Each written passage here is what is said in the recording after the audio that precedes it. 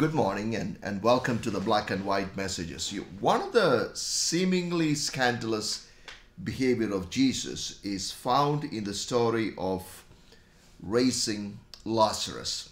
And the Bible says Jesus loved Mary and Martha and Lazarus. And when he heard about Lazarus' illness, he delayed his journey to meet them for two more days. What? Jesus' love for these three kept him from going to heal, and as a result of his delay, this family went through the longest, the saddest week in their lives.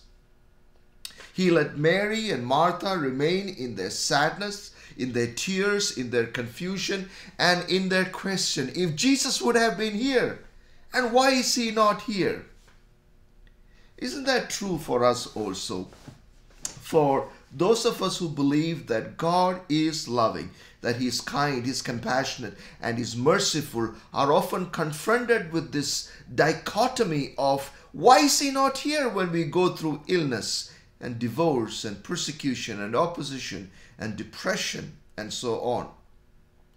I know that Jesus loves me. I know He promised never to leave me. I know He is all powerful. But why am I still suffering? The story says, Yet because Jesus loved, he delayed. He loved them, therefore he stayed. Second, we see that Jesus wept. John 11 35 says that the crowd recognized it immediately. When Jesus weeps at the tomb of Lazarus, they say, See how he loved him. This is important. The waiting love of Jesus doesn't mean that he's some kind of a, a sadist. No, he weeps with us. And when they communicated their grief to him and said, Lord, why were you not here? He doesn't scold them, but he shares with their sorrow. And after he waits and after he weeps, he tells them to roll away the stone and he commands Lazarus to come out of the tomb. And Lazarus comes out of the tomb alive and well. This love is scandalous, isn't it? The love, this love is counterintuitive and often it is confusing. But we know that this love is amazing and it surpasses all our knowledge and understanding.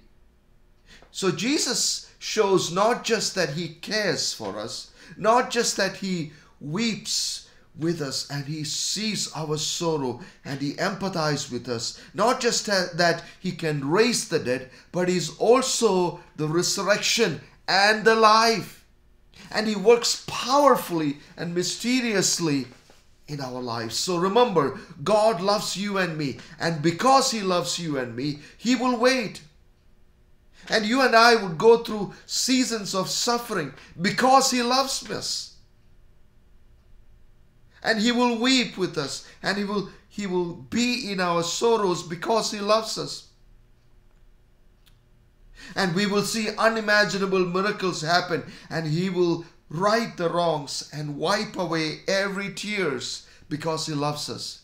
And because he loves us he will ri- he will raise you and me from the dead to spend eternity with him in heaven. Isn't that the most amazing part of our faith I hope this message has been a blessing to you all. You have a wonderful week and God bless you.